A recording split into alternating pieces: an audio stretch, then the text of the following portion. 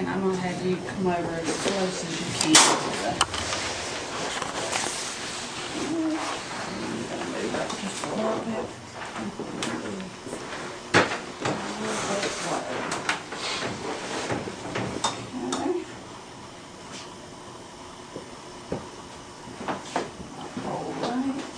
Now let's go to- we're use, we're using the pad today. If you did have to build them up, I think the book shows this.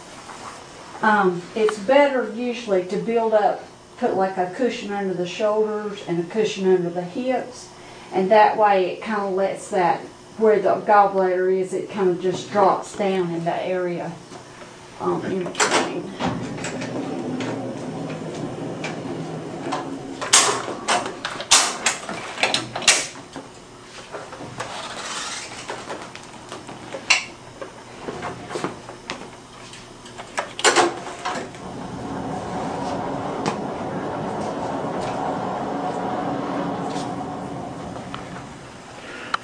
That tube didn't quite turn the way you wanted it to. Nope. It's not quite It's perpendicular. locked in, I don't think. No, it's not.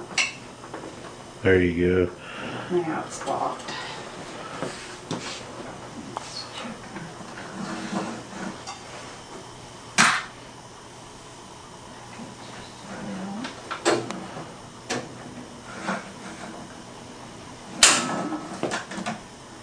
Now, Got it right there, yep.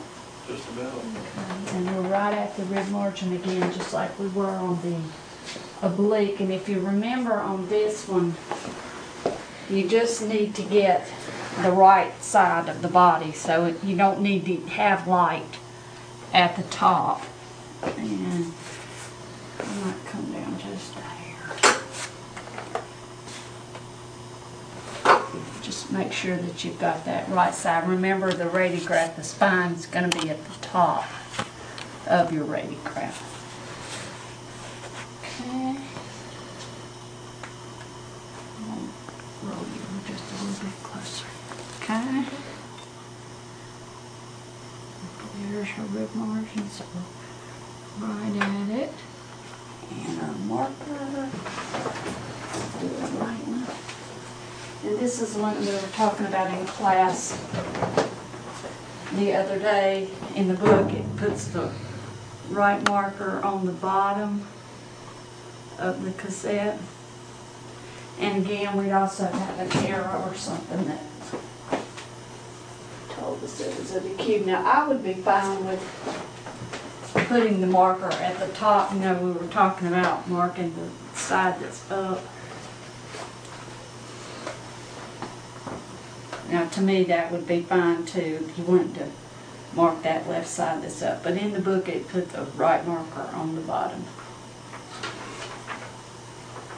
And make sure we're using just a groove cassette. And we've talked before about the special cassette so you don't get the groove cut off that y'all been talking about. So you, I think on there it might say vertical. That's if you're using the old somewhere in the book, but we're assuming that the grid lines are not gonna cause the, um, grid cutoff. Okay, and again, we do it on the expiration, and we can also shield. Okay,